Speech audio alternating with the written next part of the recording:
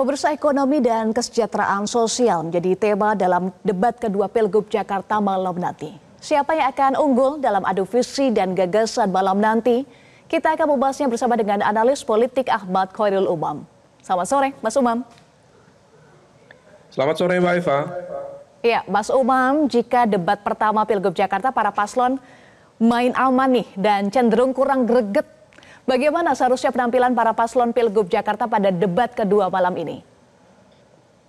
Ya, terkait dengan konteks debat kedua, saya pikir ini adalah sebuah momentum yang sangat penting, sangat uh, strategis bagi masing-masing kandidat, terutama pasca debat pertama kemarin terjadi shifting elektoral yang cukup signifikan. Ada tren uh, peningkatan misalnya di sisi uh, Pramono Anung dan juga Arano Karno di saat yang sama kita juga tahu uh, tren dari Pak Ridwan Kamil dan Pak Suswono yang memiliki bekal elektoral yang lebih kuat, tetapi kemudian mengalami proses yang uh, kurang uh, optimal. Nah, untuk mengoptimalkan lagi, maka penting untuk memanfaatkan kesempatan ini uh, sebagai sebuah milestone yang cukup uh, strategis untuk uh, melipat gandakan elektoral.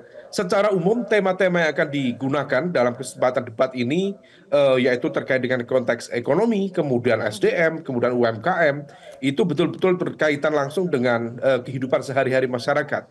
Jadi uh, daily life dari masyarakat DKI Jakarta jika kemudian poin-poin yang disampaikan memang betul-betul bisa tangible, lebih terukur dan lebih mudah dipahami oleh masyarakat, saya pikir ini akan menjadi sebuah media sosialisasi yang jauh lebih efektif bagi masing-masing kandidat untuk segera mengkonsolidasikan basis pemilih loyalnya dan juga potensial uh, pemilih ya. di uh, pilkada November yang akan datang. Oleh karena itu, uh, tim uh, sukses termasuk juga para uh, kandidat betul-betul harus menyiapkan diri dengan baik juga uh, membuka atau dalam konteks ini berhati-hati untuk kemudian uh, membuka ruang potensi tembak dari masing-masing lawannya karena tentu ini akan menjadi sebuah uh, momentum bagi mereka untuk mendelegitimasi sekaligus juga memperkuat basis kekuatan masing-masing. Mbak Eva. Mm -hmm. Ya, Mas Umam betul bahwa tema ekonomi dan kesejahteraan sosial ini sangat dekat dengan masyarakat karena masyarakat yang merasakan langsung ya isu-isu apa saja yang seharusnya menjadi concern perhatian dari tiga paslon Pilgub Jakarta. Iya, eh, secara general bicara tentang konteks eh, masyarakat di DKI Jakarta memang tidak akan lepas dari isu-isu yang selama ini muncul, mulai dari konteks isu eh, kemacetan lalu lintas, kemudian isu banjir, kualitas udara dan juga kemudian terkait dengan konteks isu pemukiman dan tata ruang karena bagaimanapun juga isu public housing di Indonesia terutama di DKI Jakarta menunjukkan gap yang cukup signifikan antara kelompok yang kaya dan juga kelompok yang miskin. Nah, kepadatan penduduk dan juga keterbatasan lahan mengakibatkan maraknya pemukiman kumuh di Jakarta dan e, pembangunan gedung dan perumahan tanpa perencanaan yang matang juga menimbulkan masalah data, uh, tata ruang dan juga lingkungan yang sering kali menjadi uh, vicious circle atau lingkaran setan yang uh, menjadi sulit untuk dicermati. Nah, oleh karena itu jika kemudian uh, para calon gubernur, wakil gubernur bisa menunjukkan apa yang bisa mereka lakukan, apa strategi seperti apa yang kemudian bisa ditawarkan, saya pikir itu akan jauh lebih baik. Dan yang terpenting adalah terkait dengan konteks prosperity, konteks kesejahteraan. Bicara kesejahteraan lagi-lagi akan bicara tentang strategi untuk meningkatkan eh, dalam konteks ini serapan tenaga kerja dan juga meningkatkan eh, kualitas mesin ekonomi yang ada di masyarakat. Tadi beberapa eh calon gubernur sudah menjelaskan tentang konteks UMKM misalnya Eh, bagaimanapun juga eh, penguatan di sisi UMKM menjadi penting untuk dilakukan.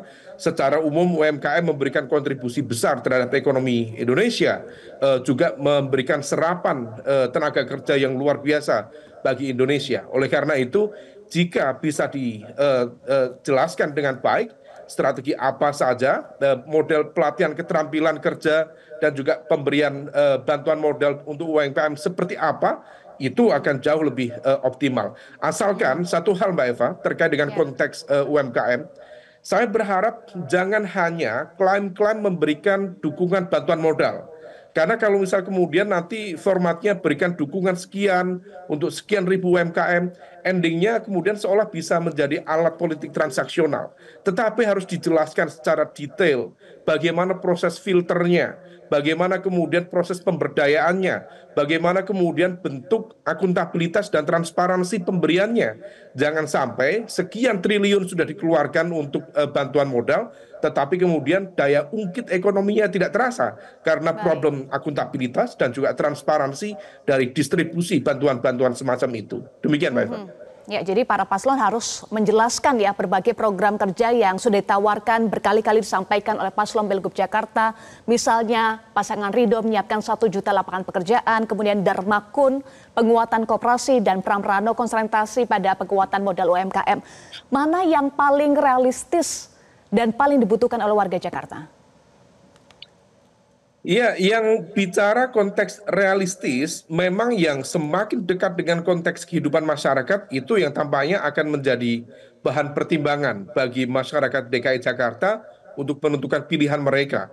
Kalau bicara uh, sektor-sektor strategis tadi, maka uh, terkait dengan konteks uh, people uh, prosperity itu akan jauh lebih impactful uh, uh, dalam konteks uh, uh, program ini. Maka terkait dengan konteks uh, UMKM, kemudian bagaimana penyiapan tenaga kerja supaya kemudian uh, bisa terserap dengan baik. Dan bicara penyiapan tenaga kerja, maka uh, para calon gubernur juga harus mampu meyakinkan kepada kita semuanya, terutama bagaimana kemudian mereka mengkomunikasikan dengan dunia usaha. Baik.